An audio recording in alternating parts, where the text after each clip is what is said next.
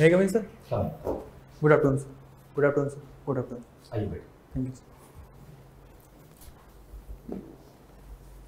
बिना अपना नाम और डिस्ट्रिक्ट बताए हुए अपने बारे में थोड़ा परिचय दें सर मैंने अपनी प्रारंभिक शिक्षा अपने गाँव से प्राप्त की है इसके बाद मैंने इंटरमीडिएट सरस्वती विद्या मंदिर इंटर कॉलेज से किया है और ग्रेजुएशन में मैंने सर बीटेक किया है इसी ब्रांच से और अभी हाल ही में मेरा चयन समीक्षा अधिकारी पद पे हुआ है सर तो पहले तो कंग्रेट्स कि आपका सिलेक्शन हुआ है अच्छी बात है। थैंक यू अच्छा सर थोड़ा सा वेरिएशन दिख रहा है मुझे आपके इस प्रोग्राम में कि आपने बीटेक किया है हाँ टेक्निकल एजुकेशन है उसके बाद आपने सर। सोशोलॉजी सर जो आपने चूज़ किया है।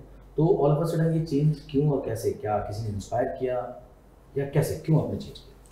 सर बीटेक मैंने इलेक्ट्रॉनिक्स ब्रांच से किया है।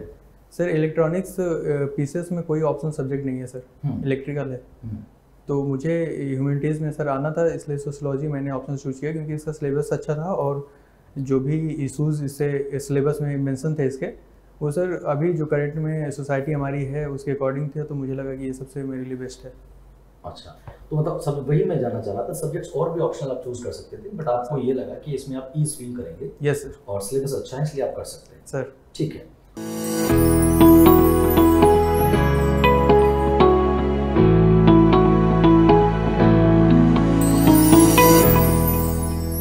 आप मुझे बताएँ उत्तर प्रदेश में ओडीओपी आपने सुना होगा one district one product yes sir तो पाँच ज़िले और उनके एक एक प्रोडक्ट का नाम बता सर फतेहपुर ज़िले से जो भी बेडशीट बनती हैं हम्म, सर वहाँ पे इसका उत्पादन हो रहा है। अ, सर गोरखपुर में टेराकोटा सर शिल्प का उत्पादन हो रहा है। हम्म, और सहारनपुर में सर ये लकड़ी के जो खिलौने हैं ये बन रहे हैं। हम्म, मथुरा में सर ये जो पूजा के सामान होते हैं घंटी ये सब बनती हैं और अलीगढ़ में सर ताले बनते हैं।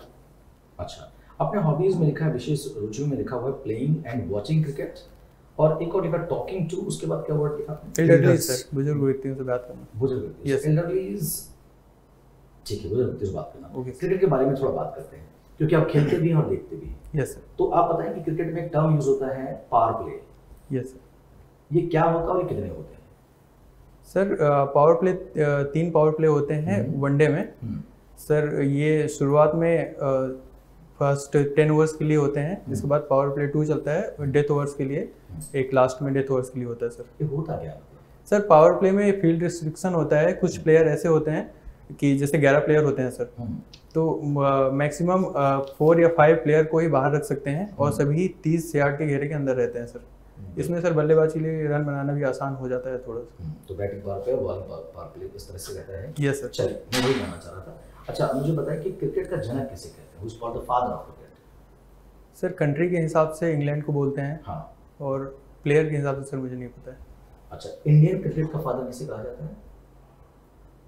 सर बैट्समैन बहुत ही महान रहे हैं। सचिन तेंदुलकर को सर बोला जाता है। भारतीय क्रिकेट का जनक। अब बैट्समैन हो तो ये कि आप कह रहे हैं कि बेस्ट और सबसे अच्छे बल्लेबाज हैं वो। मैं Yes. क्रिकेट का जनक भारतीय इंडियन क्रिकेट का फादर कौन sorry no issue no issue आप मुझे बस दो अपनी पॉजिटिव पॉइंट बता दें दो स्ट्रेंथ्स बताएँ अपनी पर्सनालिटी सर मेरे अंदर पेशेंस है। अगर किसी कार्य में देरी भी हो रही है या सफलता समय से नहीं मिल पा रही है हम्म। तब भी मैं पेशेंस के साथ कार्य कर सकता हूँ। दूसरा सर मेरे अंदर लीडरशिप की क्वालिटी है। लीडरशिप की quality sir very good sir हम्म। सोशियोलॉजी आपका ऑप्शनल सब्जेक्ट है। सर आप समाजशास्त्र के छात्र हैं। यस सर तो पिछले दस वर्षों में भारतीय समाज में आ, किस तरह के परिवर्तन आपने नोटिस किए? सर सामाजिक स्तर पर अगर देखा जाए तो पहला बड़ा परिवर्तन सर फैमिली के स्तर पर देखा जा सकता है जहाँ से जॉइंट फैमिली सर न्यूक्लियर की तरफ़ ज़्यादा चेंज होने लगी उसमें। अ, सर ये मेन रीजन इंडस्ट्रियलाइजेशन की वजह से ऐसा हुआ है। जहाँ पे ग्रामीण परिवारों से प्रवासन हुआ है शहरी क्षेत्रों की तरफ़। सर दूसरा मेन जो परिवर्तन है ये देखा जा रहा है कि भारतीय समाज में महिलाओं की भागीदारी अर्थव्यवस्था के क्षेत्र में बढ़ रही है। तो सर ये लैंगिक समानता के दृष्टिकोण से इसे देखा जा सकता है। और भी कोई परिवर्तन परिवर्तन तो बहुत सारे क्षेत्रों में हुआ। सर विवाह के क्षेत्र में एक बड़ा परिवर्तन देखा जा रहा है। जहाँ पे वर्तमान में समलैंगिकता का जो मुद्दा है वो भारतीय समाज से जोड़कर देखा जा सकता है। अच्छा।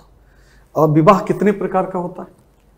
सर आठ प्रकार के विवाह होते हैं जिसमें चार को सर लीगल माना जाता है और चार को सर लीगल नहीं माना जाता उन आठ प्रकार के विवाहों में कोई ऐसा भी विवाह है जिसको आज के लव मैरिज से कोरिलेट कर सकते हैं? सर मैरिज बाय एलोपमेंट जो था वो सर आज के लव मैरिज के बराबर है। क्या नाम देंगे उसको? सर मैरिज बाय इलोपमेंट अच्छा अच्छा। वो आज के लव मैरिज के अकॉर्डिंग था। यस सर उसको स्वीकृति थी या नहीं थी? सर स्वीकृति नहीं थी नहीं थी नहीं थी। संस्कार क्या होता है?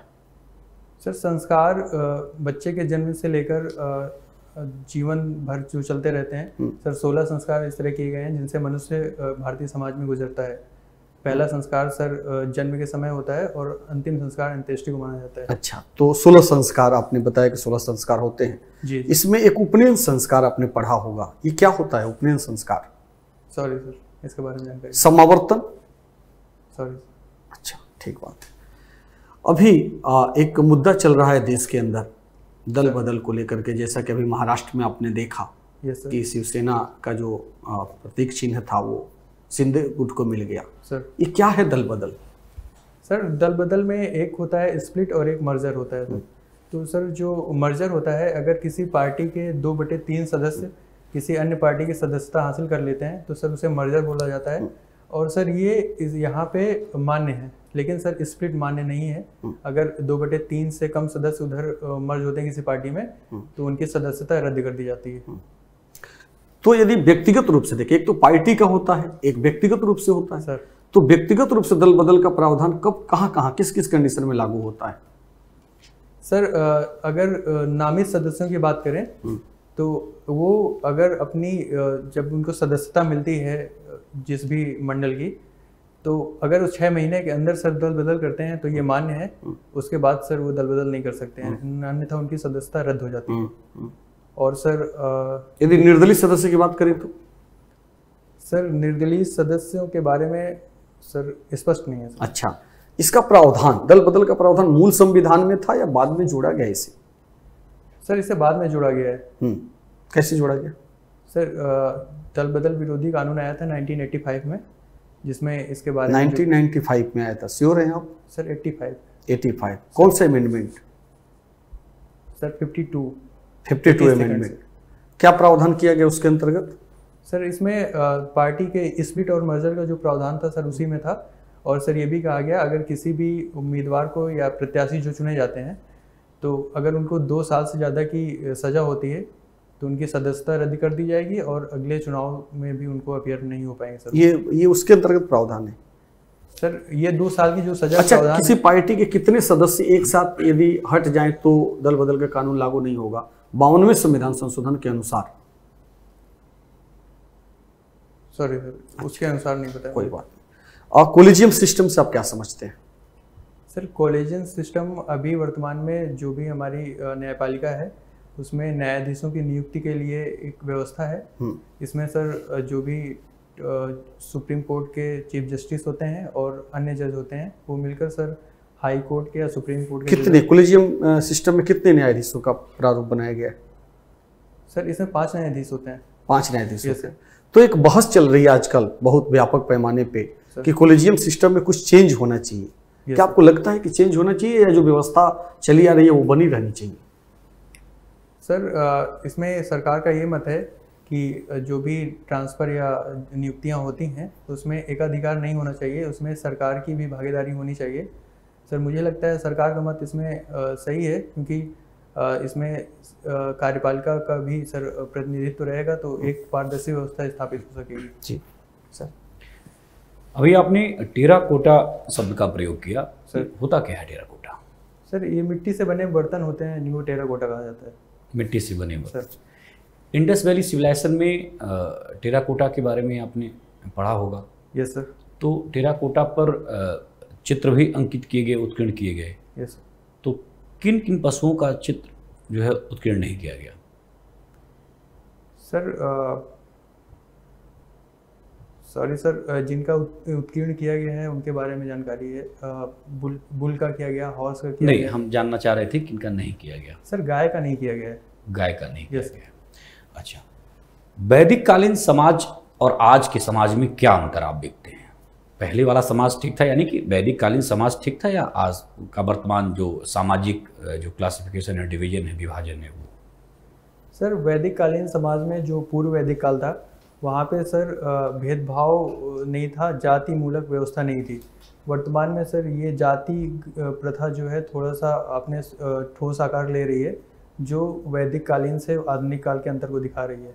दिखा रही है। यानी कि वैदिक कालीन जो व्यवस्था रही वर्ण व्यवस्था है ना वो सही थी।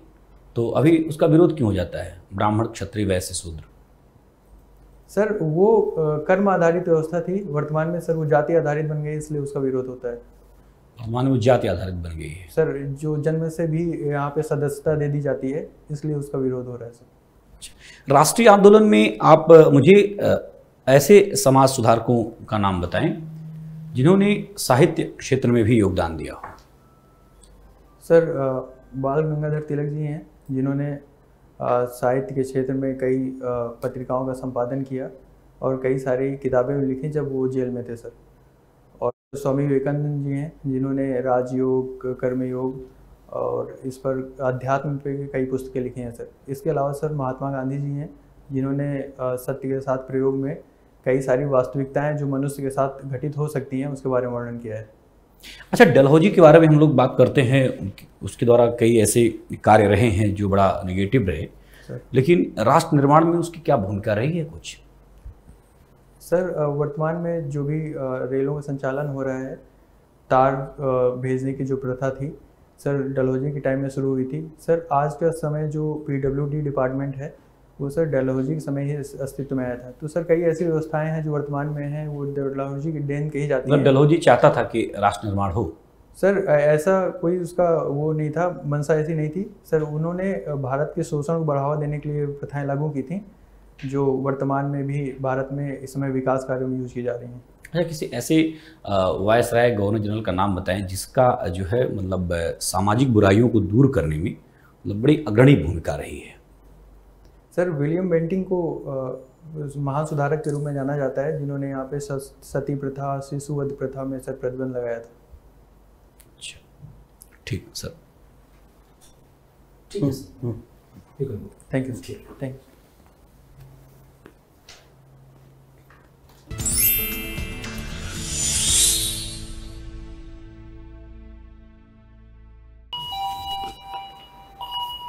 sir मैं